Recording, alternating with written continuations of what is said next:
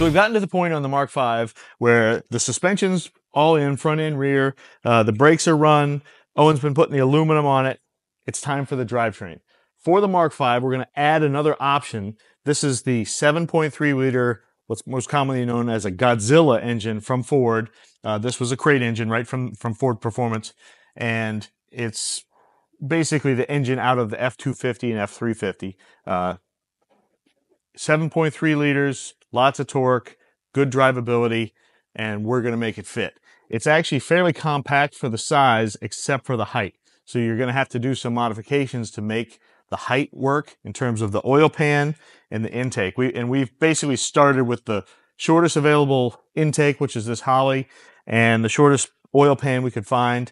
Um, and that way we know, okay, this will fit, and then we'll see how much space we have left over. So what we're going to do, we're going to offer motor mount adapters, full length headers, basically similar to what we do right now for the Coyote package. Uh, and then that's going to allow this mo motor to drop right in with a Tremec TKX transmission bolted behind it. Um, so we're about to, to try this. We've actually, we've already had this test fit in the previous chassis, so we know it'll fit in there.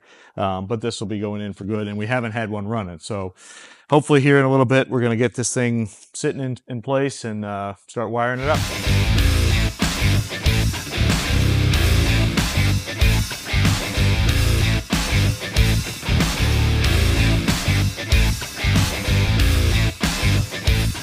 So here we've got the motor sitting down in the chassis. Uh, we actually did learn something as we put this in. We first started to fit it with the aluminum bell housing.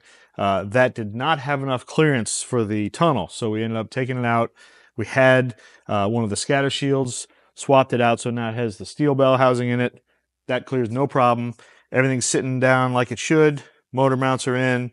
Next, we're going to go on to uh, fitting headers, doing some wiring, getting the drive shaft in, and just start working on the little details. But uh, we're making good progress, and uh, the motor looks good in here. So next up, we'll start uh, dressing it up.